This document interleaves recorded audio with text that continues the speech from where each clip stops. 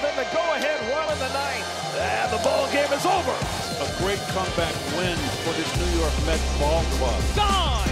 J.D. Martinez, a two-run shot. Tylor Megill's retired nine in a row. He's in a groove now. And the Mets take care of business as they beat the White Sox 5 to 1. Out of here. Back-to-back home runs for Alonso and Winker. And that'll do it. The Mets have their first three-game winning streak since July. And it's out of here. Francisco Lindor leads off the fourth inning. Edwin Diaz strikes out the side of the ninth. The Mets sweep the three-game series from the White Sox. Lindor drives one into right center for a base hit. The Mets are cashing in. He struck him out and the ball game is over. And the Mets win their fifth in a row.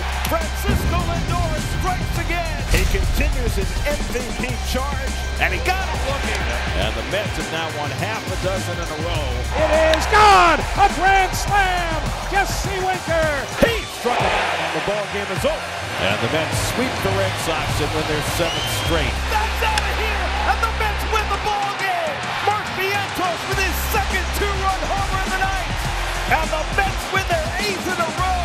It's out of here. Harrison Bader breaks the ice, and the ball game is over. Nine straight wins for the Mets, and the Mets continue this incredible roll